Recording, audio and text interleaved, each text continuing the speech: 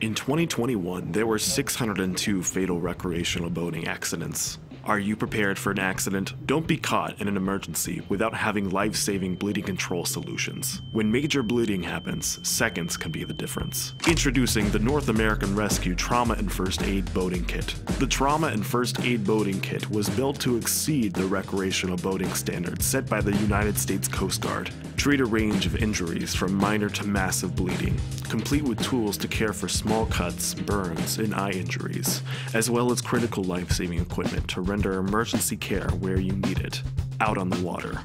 The First Aid Pocket Guide walks caregivers through step by step instructions on providing first aid.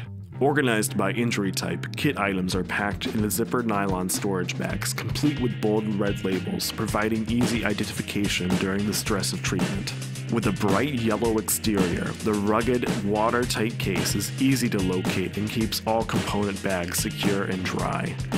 The integrated carry handle allows the entire kit to be transported rapidly.